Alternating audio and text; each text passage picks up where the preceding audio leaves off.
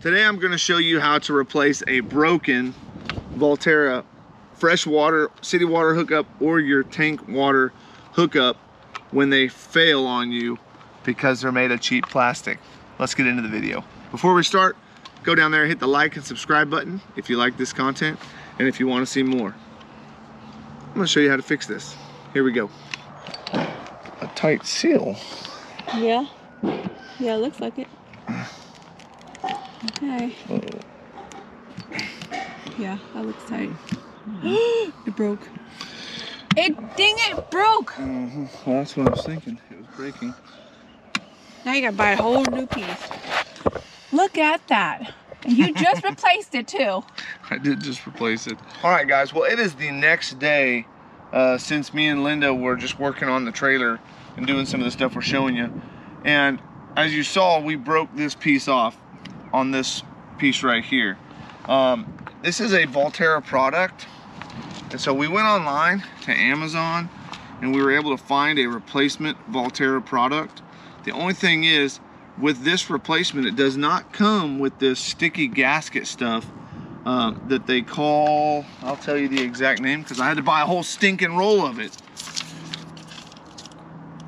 Dicor butyl tape. And I guess it's basically sticky on both sides. It's, it's not like caulking.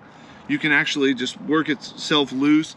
But when it tightens up nice and tight with the screws, it makes a watertight seal. So you're gonna need to pick you up some of this um, butyl tape, B-U-T-Y-L tape.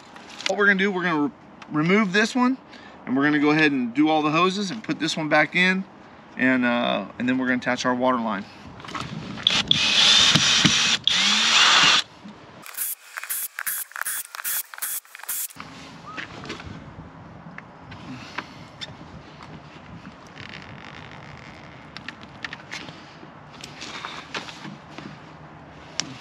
You gotta be careful so you don't wreck your trailer.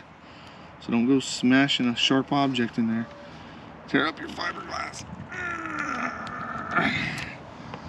It is nice and sticky. Just nice, constant, steady pressure. We'll pull that off of there. That's the purpose of it, is that it just stays connected. Makes that like like gummy seal. There we go. I'm gonna clean this up a second and then uh, we'll get back to replacing this. So just tear off all this stuff, clean it all up nice and good. I'm gonna go ahead and remove this plate. What I need to do is take off this water line and then take off this hose clamp right here and pull this off, make sure I'm not breaking nothing. You can get you a, a wrench that fits this perfectly, but a pair of um, pliers will do it. Will do the job just fine. Your hose may not be one of these steel braided lines. I actually replaced these and put all steel braided lines on my on my trailer inside and removed all those little cheap ones. And you can actually get most of these lines at like Lowe's or Home Depot.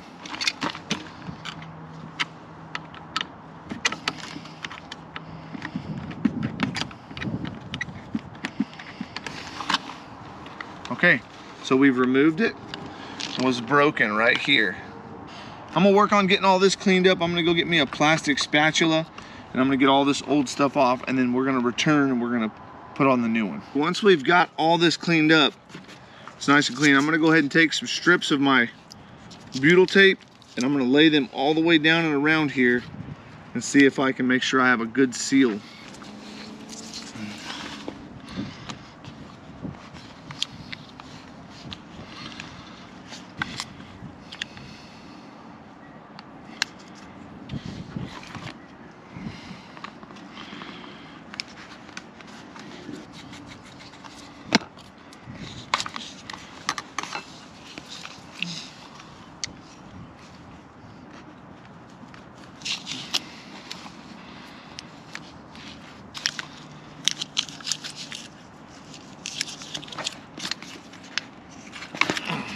Is some sticky stuff. All right, now that we've got all the butyl tape installed, we're gonna go ahead and remove all of our paper from around it, trying to keep it as clean as possible. And we don't want to get the oils from our hands all over it either. Let's put that in my pocket for now. All right, make sure that you cover all of your edges. See the edges are, just round those off a little bit. And we need to put our water line on. So we're gonna put a little Teflon on here. We're gonna get this ready.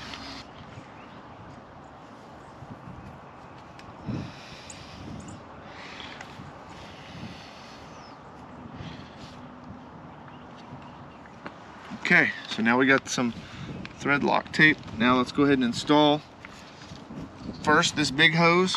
Make sure you put your hose clamp on first.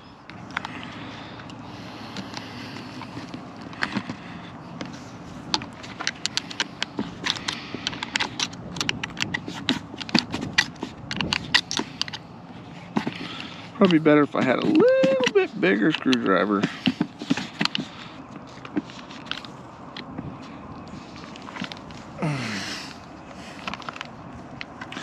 All right, we got her nice and tight. Next, we're gonna install our water hose right here. Make sure you don't cross thread it now.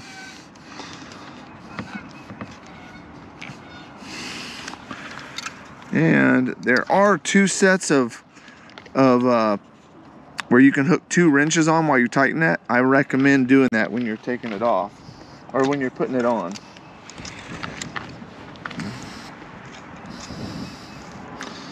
So I do have another wrench right here. Put that right there just to hold that in place.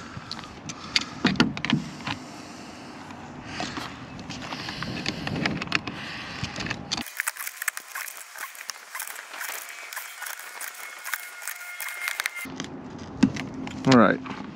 Before you go ahead and screw that on, put your hose on this and turn it on and see if you have any.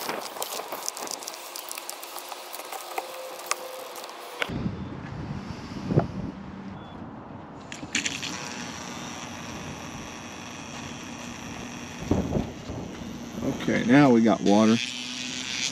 You can hear it going through there. Make sure it's pressurized.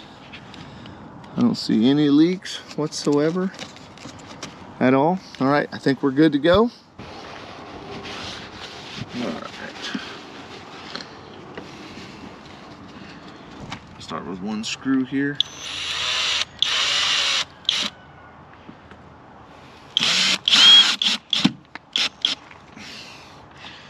Make sure we get them all lined up properly.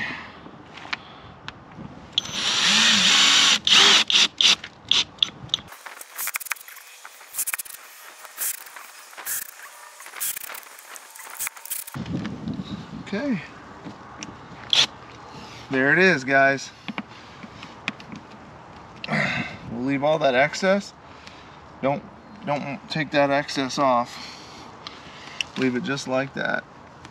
And that's all there is to to replacing this Valterra piece with your water lines for your um, for your freshwater tank and for your city water hookup. Remember, you can get these on Amazon way cheaper than you can at one of the shops. But when you're in a crunch, go to one of your your um, RV shops and they should have that. Just don't forget to buy that butyl tape. Very simple fix. Thanks for watching, guys. Make sure to like and subscribe if you like this kind of video. Leave us a comment, and we'll see you on the next video.